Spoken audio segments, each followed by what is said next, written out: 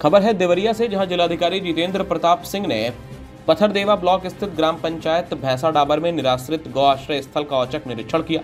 निरीक्षण में कई गंभीर खामियाँ मिली, जिस पर कार्रवाई करते हुए डीएम ने बीडीओ को चार्जशीट देने और बीडीओ पंचायत सचिव एवं तकनीकी सहायक टीए से रिकवरी करने का निर्देश दे दिया है।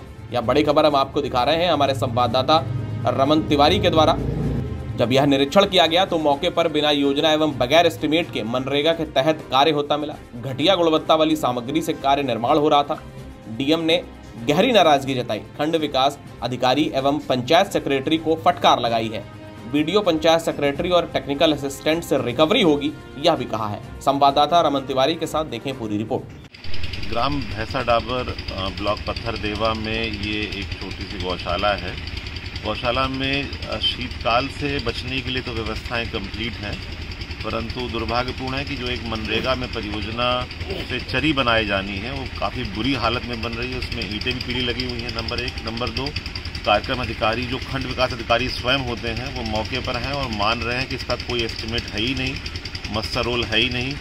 टीए ने अभी तक परियोजना प्रस्तुत नहीं करी है और बिना उसके काम भी करा ले रहे हैं और जो काम हो रहा है मौके पर, वो भी अनियमित और काफ़ी खराब क्वालिटी का हो रहा है।